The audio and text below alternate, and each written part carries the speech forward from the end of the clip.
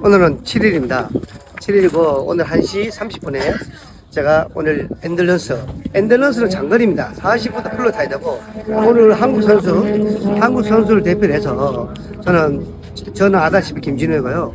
우리 또 이, 이민 선수 안동 선수고 그 다음에 또 이대수 선수 이대수 선수 그 다음에 우리 그 고등학교 2학년 노태양 선수 현재 오늘 어제는 6일날 노태양 선수가 1등 해놨습니다 해갖고 오늘도 역시나 안전하게 잘 뛰어야 되지 않겠습니까 오늘은 1번 아시아 선수권 제트스키 대회 왔습니다 감사합니다 showed up here and borrowed a boat, rented a boat, and that number is different than what is shown with the um, association. If you're running a boat on a number different than what you send in your registration to, You need to go up and see registration, which is the tent right here, after this meeting and correct that.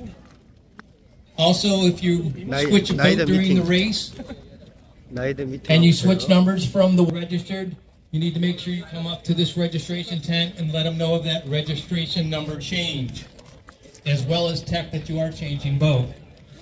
If you do not have that boat number change, or correct the number that you did in registration, they're not going to be able to score you.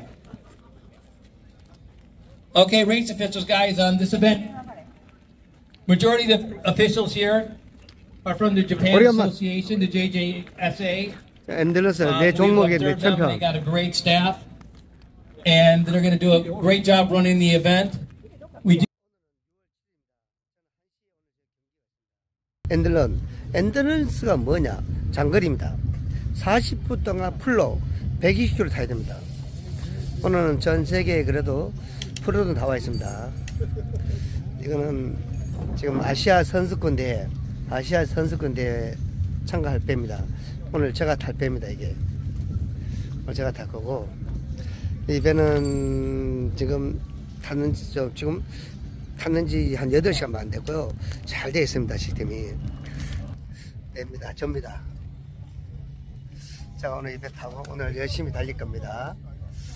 오늘 대학무지 대표는 오늘 6월 7일 1시 경기하고 9일날 또 1시 경기 있습니다. 두 게임에서 합상해서 이제 점수 매깁니다. 대한목 제 대표 김준호입니다.